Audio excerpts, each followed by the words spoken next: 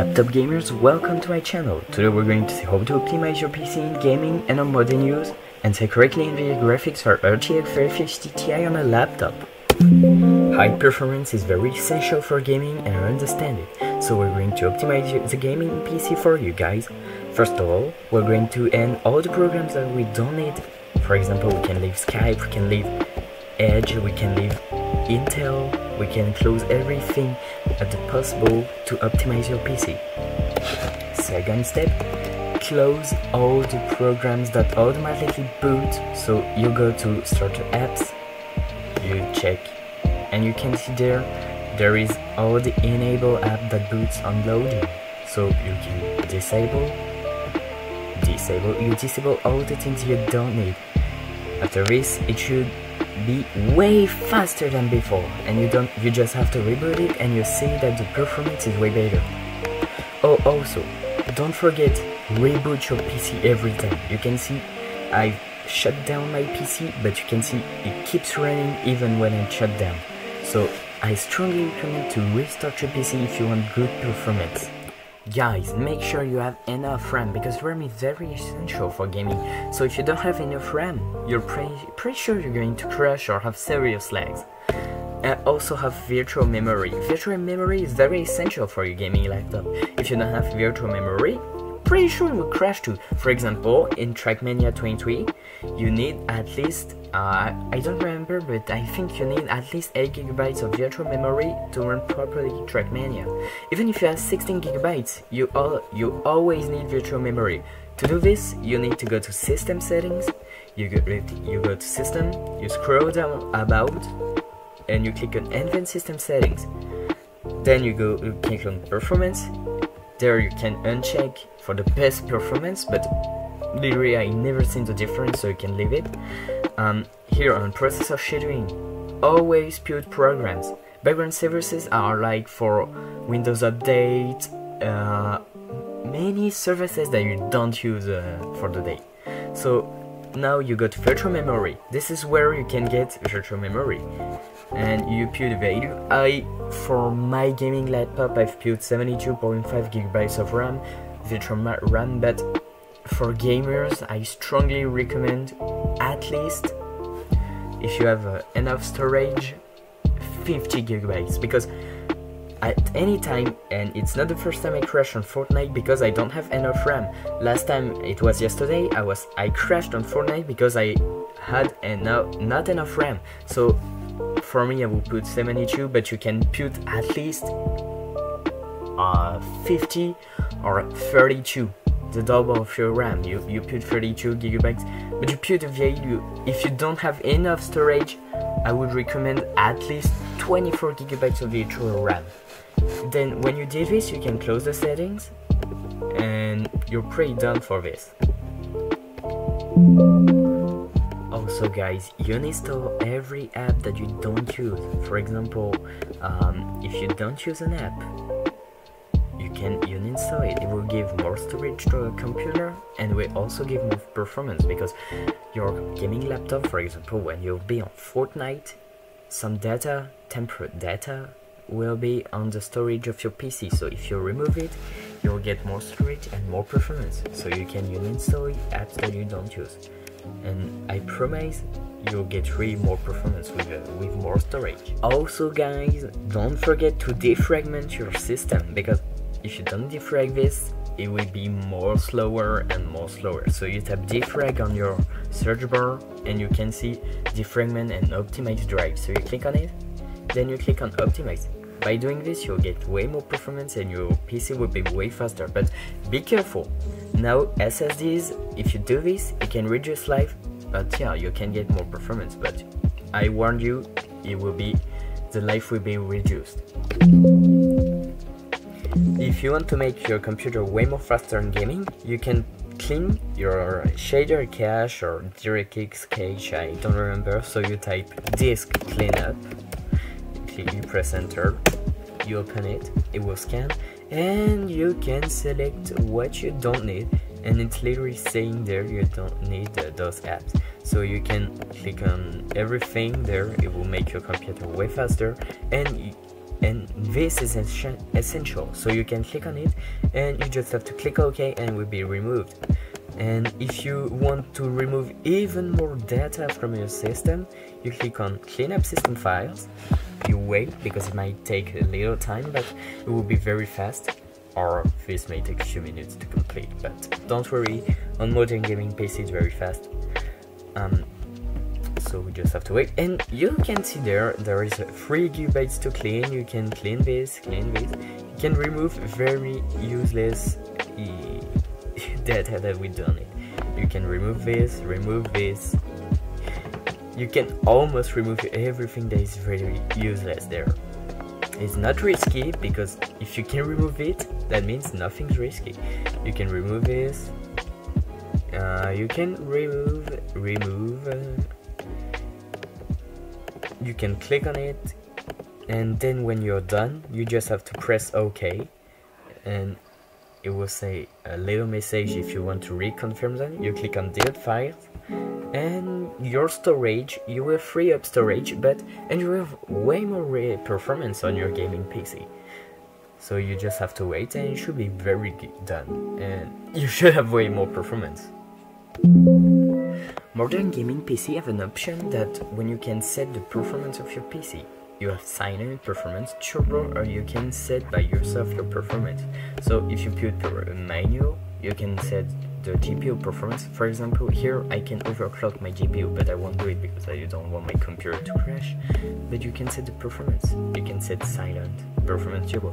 If you put the maximum, I think you'll get the best performance for gaming bit. But be careful at your CPU temperatures because you can see GPU performance and the cooling is only at the 3 states but you can't control this unless you use manual mode, but you'll really get better performance, I promise, try it by yourself. If you want also very good performance, I strongly recommend to boot Windows with your digital GPU and not your integrated GPU, for example Intel's Integrated GPU or AMD.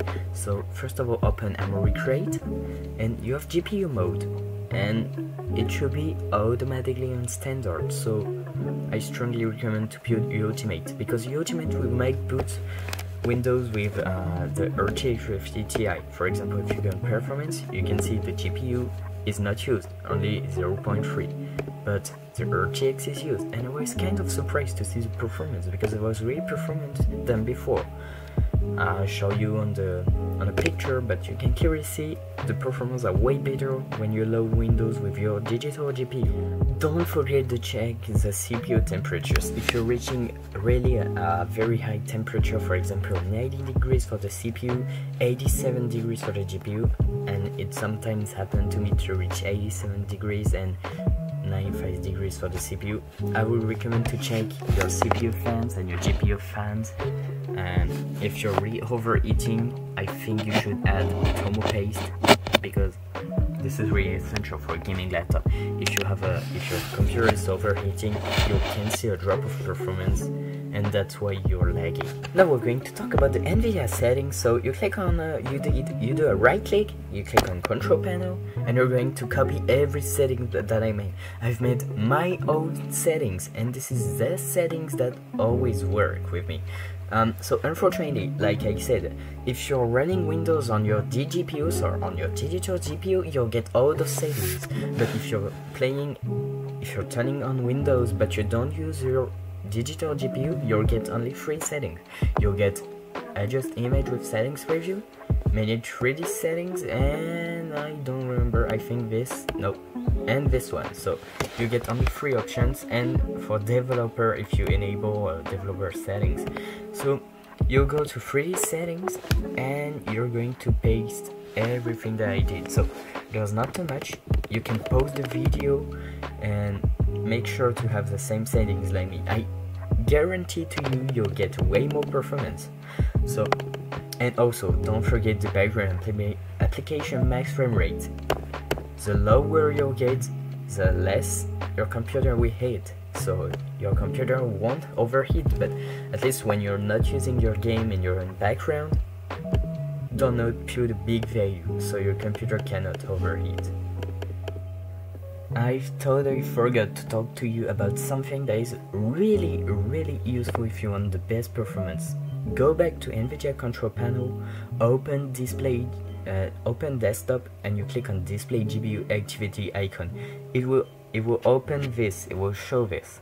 Click on this, and then you have all the process that use your RTX. So if you don't use one of them, do Windows plus R, and then you type CMD. You open this, and you have to type task kill FIM, and you type the program you don't use be careful to not close NVIDIA services because I think they're essential for the use of your GPU. So if you don't use, for example, um, let me see, OneDrive for example, you just have to type onedrive.exe and it will be removed from the GPU. And you can clearly see just got removed and it will at least give more performance to your GPU. For example, if I try task kill FIM and we're going to close the phone experiences, host, yep, host.exe. Oh, I'm really bad at typing, I swear. Uh, task. Oh my gosh. I'm not never, I'm never gonna make task kill. Oh, I'm so dumb. And if I type, yep. And it got removed from your computer. But if you reboot it, pretty sure will restart. But if you did the steps on the task manager when you avoid um, on starter apps the boot of your apps, it should be fine. And you'll get really more performance. Try this out. It's really useful. Okay, so if you really want good FPS, um, I, I launched a game, so if you really want a good FPS and not lag, put it to your refresh rate. So, for example, my monitor is 144 Hz and I decided to put 144, but you can clearly see I'm, I'm not getting way much because I'm uh, I'm recording. Oh, and that's kind of fine. I'm hitting 144, but in unlimited, uh, I'm getting. I don't even know how much I'm hitting, but Yo, 144, 175. Okay, it's pretty good, but I recommend. Uh, I would do. Honestly, I'm gonna be honest, I would have way more FPS than this because when I'm recording, I'm hitting basically 200 FPS, but it's just because I'm recording and my, I didn't restart in my computer. I have less FPS because my CPU didn't have the time to rest a little bit. But Honestly, this is kind of pretty good. I'm getting good FPS on replay, so we're going to see how much I'm getting when I'm gonna be playing, but it's kind of good, seriously. But fact is, when I'm not recording, I'm hitting 200 FPS. But um, pre something pretty useful, if you use NVIDIA GeForce Experience, this record option is very, very useful because it doesn't cost consume a lot and you're still getting a lot of FPS. I should give you a demo. So I'm recording on Nvidia and I'm gonna turn on OBS, but you clearly see the difference.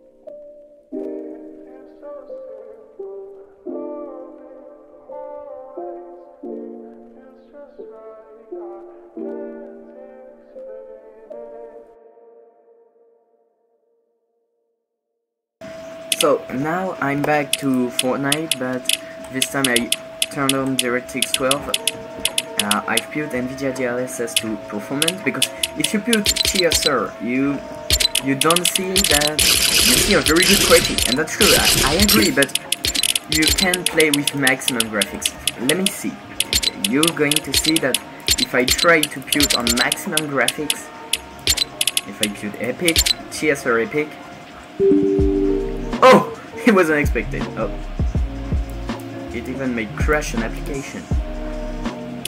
and you can clearly see that with with Lumen, Lumen and Nanite I can't even handle FPS so you can see if I'm using NVIDIA DLSS oh, so you're going to see the difference here's the question in the lobby now if I'm turning off TSR and turning on DLSS you will see that I'm hitting way more FPS so let's do DLSS performance.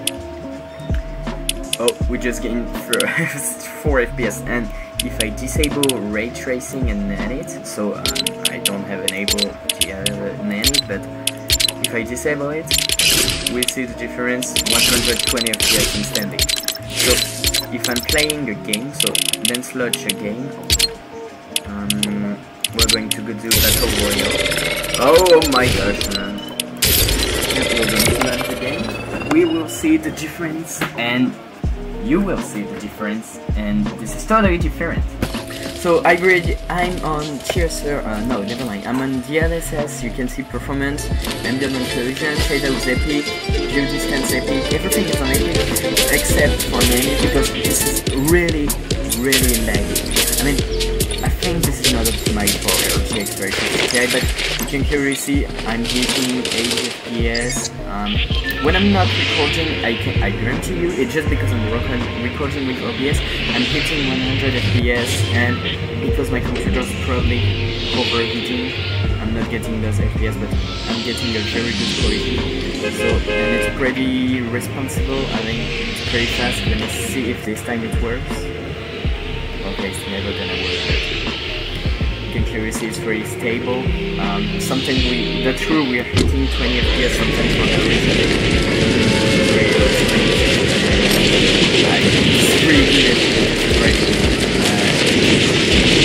so we'll pray fine for this. Um, but not gonna lie, since there's a new chapter, because in the um, season 4, uh, chapter 4, season 4, I wasn't laggy that much. It, it's a epic game that probably updated their graphics, so that's why I'm laggy. But honestly, I was streaming and playing and I didn't have any issues, so that's Epic Games update, I guess. But honestly, oh, it just crashed. Okay, never mind. But honestly, that's pretty fine and that's not that bad. I'm hitting, yeah, 70 FPS, 80 FPS. But it's pretty good. Seriously. Let me see if I can kill player, and I can't even because I'm too freaking bad. That He's trying as much as to run. I'll do anything. Hmm. Oh my gosh, he almost killed me, damn. That was painful. All redeemed. But yeah, it's a good question. I'm not gonna lie, you're getting way more FPS if I'm not if I was recording, seriously. But yeah, that's uh, very good. Oh. Yeah, hacker. Bang one. Watch your lady. Sorry,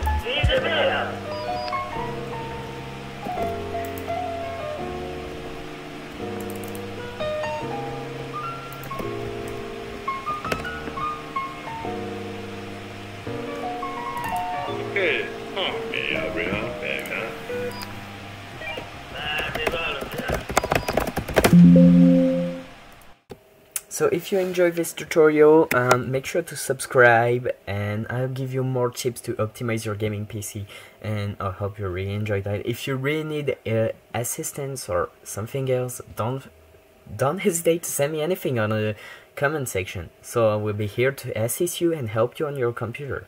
Thank you for watching everyone. See you later. Goodbye.